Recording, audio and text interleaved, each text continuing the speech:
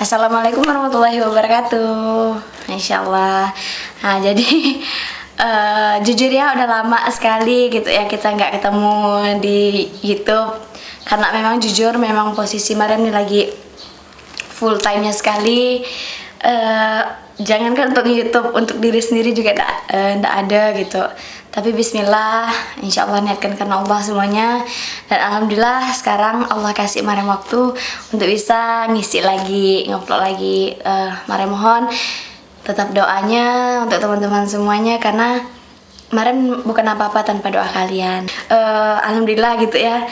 Di sela-selang waktu Mariam kemarin, Mariam udah ke, uh, udah lihat gitu video dari Om Deddy dan Masya Allah ya, itu tuh buat hati Mariam tuh tidak nyangka gitu jadi orang-orang yang seperti itu ya kita tahu uh, Om Deddy itu orang yang kayak gimana dulu ya orang yang kayak benar-benar bisa dibilang tuh kayak tidak ada hilalnya buat kenal Islam gitu nah sama kayak Mariam gitu kan. Jadi tidak ada hilal buat buat bisa apa ya eh, kenal Islam sebelumnya gitu.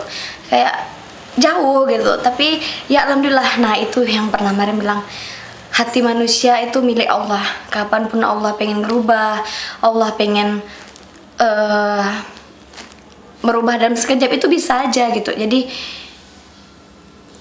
kita yang udah Islam, kita yang udah diberi nikmat hidayah sama Allah, diberi nikmat Islam, kita minta pertahankan sama Allah. Karena hidayah itu jujur mahal, banyak perjuangan di dalam di dalamnya. Menggapai hidayah itu mahal sekali.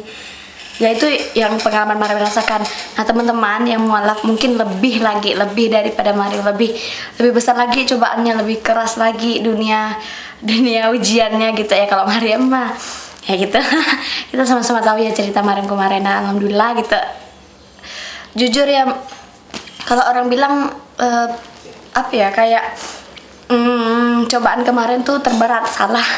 Cobaan terberat, cobaan terbesar itu di mana saat mempertahankannya.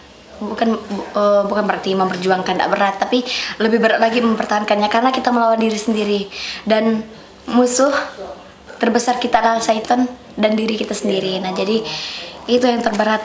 Kalau orang lain bismillah masih bisa gitu ya. Nah, itu yang sedang Mariam jalani sekarang. Nah, kembali lagi ke Om, Om Deddy, jujur ya Masya Allah kalau misalnya Om Deddy nonton Mariam nih Om Deddy you're the best uh, congratulations for your Islamic uh, now Mariam tuh kayak sorry kalau kata-kata yang salah jadi jujur Mariam tuh kayak tergugah gitu kayak hah Om Deddy? Jujur saat itu tuh Mariam lagi benar-benar mikir kan uh, sampai kemarin tuh kayak ngeblank kayak ngehang mikirkan Om Deddy kok bisa gitu seorang Om Deddy Corbusier bisa masuk Islam. Itu tuh that's amazing for me gitu. Sesuatu yang mustahil sekali tapi tidak ada yang mustahil bagi Allah. Allah maha pemilik segalanya Allah mempunyai segalanya tidak ada yang mustahil. Jadi itu itu yang pengen Mariam sampaikan. Jangan pernah takut akan semuanya karena sesuatu yang sesuatu yang mustahil bagi manusia itu tidak ada apa-apanya kecil buat e, bagi Allah. Karena Allah pemilik segalanya. Kun maka jadilah saat Allah bilang kun saat Allah berkehendak maka itu semua akan jadi. Seperti yang kita lihat sekarang kan teman-teman mungkin uh, sama kayak Mariam nggak percaya kalau Om itu Om Deddy nih bisa merasakan nikmat Islam masya Allah sekali ya.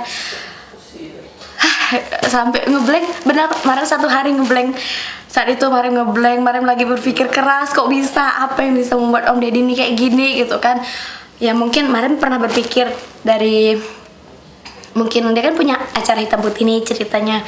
Nah di situ banyak uh, motivasi-motivasi dan alhamdulillah tuh uh, banyak dari yang susah-susah dari yang uh, yang tidak mungkin menjadi mungkin uh, yang aneh gitu ya yang mustahil jadi jadi bisa terjawabkan semuanya. Jadi uh, mungkin insya Allah uh, dari itu juga jalannya. Tapi wallahu alam hanya Om Deddy dan Allah yang tahu gitu ya gimana perasaan kok bisa bisa masuk Islam. Nah jadi itu komentar Maram tanggapan Maram itu juga Maram semua kehidupan kita jalan hidup kita itu ujian buat kita. Nah, jadi senang pun kita, susah pun kita, segala macam.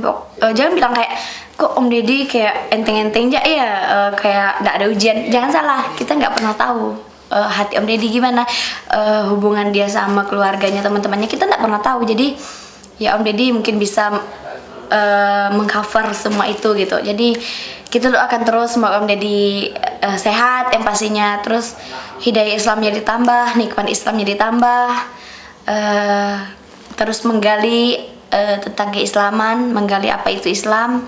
Nah, kita berdoa sama-sama karena posisinya saat kita udah memilih sesuatu yang benar, cobaannya pasti besar. Mariam udah alami itu. Jadi saat kita apa ya? Akhirnya kita berdoa aja karena kita nggak tahu ada kan e, masalah dari Om Deddy. Om Deddy mah gampang kalau ada masalah tinggal panggil pengacara kan. kayak apa ya kayak simpel gitu tapi kita nggak tahu gitu hat, mungkin hatinya. Karena ya Maria bilang tadi cobaan terbesar tuh bukan dari orang tapi dari diri kita sendiri gitu. Nah itu cobaannya. Jadi Bismillah semoga Om Deddy kuat semoga Om Deddy tetap semangat ngejalanin Islam